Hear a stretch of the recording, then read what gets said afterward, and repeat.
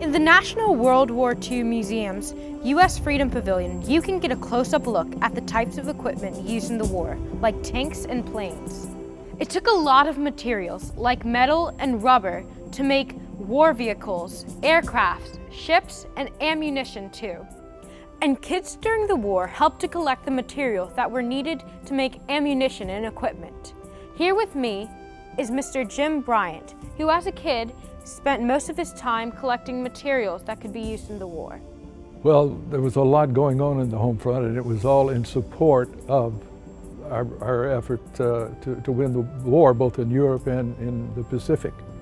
One of the things that, that the, the entire country did uh, was to gather scrap, uh, metal, tin, and, and, and bring it and, and give it to uh, the government, and they would then take that and build wings of some of these airplanes you see here, or uh, some of the tanks, a lot of metal there.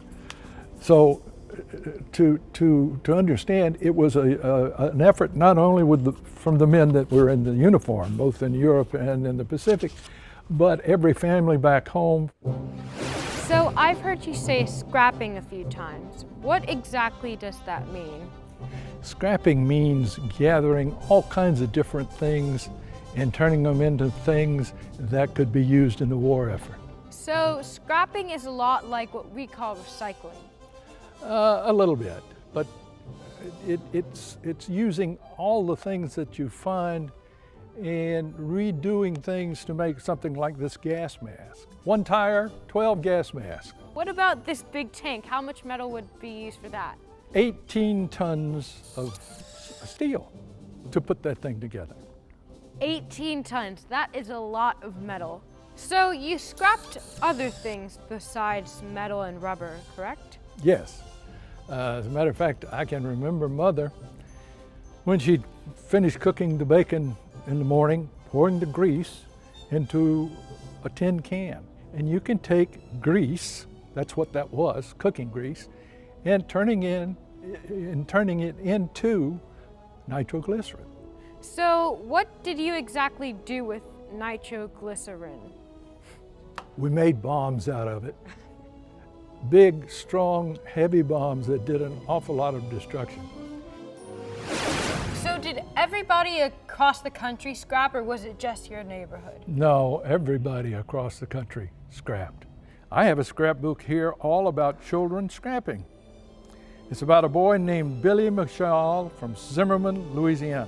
He went to school in a one-room schoolhouse with only 11 other classmates. Well, Billy was actually chosen to attend the launch of a Liberty ship here in New Orleans to represent his tiny school that won a statewide scrap contest. So Billy traveled to New Orleans for the first time and was treated to an inspection tour of the city in a Jeep and see the SS Leonidas Polk launch. So Billy got into a Jeep just like this one? Yes. Why don't you give it a shot? Hop in. Thank you so much for taking me to the museum. It has been wonderful experiencing what a kid my age would go through during the war.